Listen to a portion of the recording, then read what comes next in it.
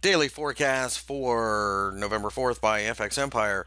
Uh, the gold market, as you can see, went back and forth during the course of the session on uh, Thursday, testing 1300. We could not break out though, so having said that, it looks like 1300 is a significant barrier. Nonetheless, though, today's the jobs number, so expect volatility follow the US dollar.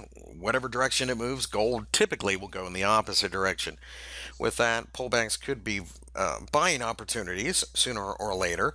A break above the high could be a buying opportunity as well. Tell me how you feel about gold in the comment section below.